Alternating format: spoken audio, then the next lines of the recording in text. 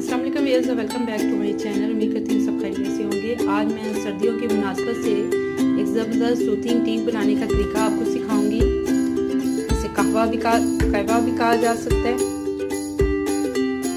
अच्छा जी, इसके लिए आपको चाहिए दो गिलास पानी, एक गिलास डाल दिया मैंने, एक गिलास और पानी का डाल देंगे दो गिलास पानी।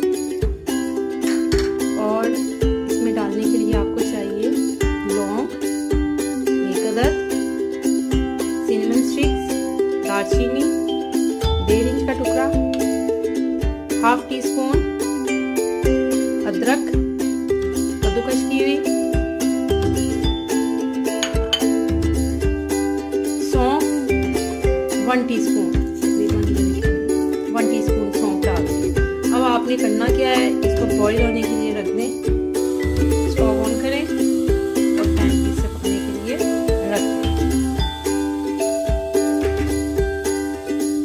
पकाएँ कि ये दो गिलास का एक गिलास रह जाए।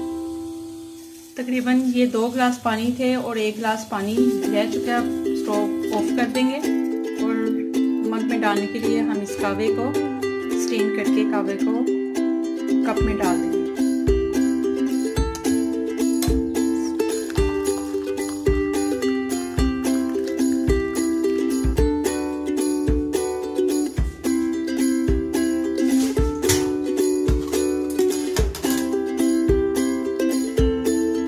फ्लेवर के लिए आप इसमें शक्कर डाल लें, गुड़ डाल लें और या इसमें आप शहद भी डाल के इसको पी सकते हैं। उम्मीद करती हूँ आज का जो स्पेशल कावा जो मैंने बनाया है सर्दी के मौसम के हवाले से आपको पसंद आएगा।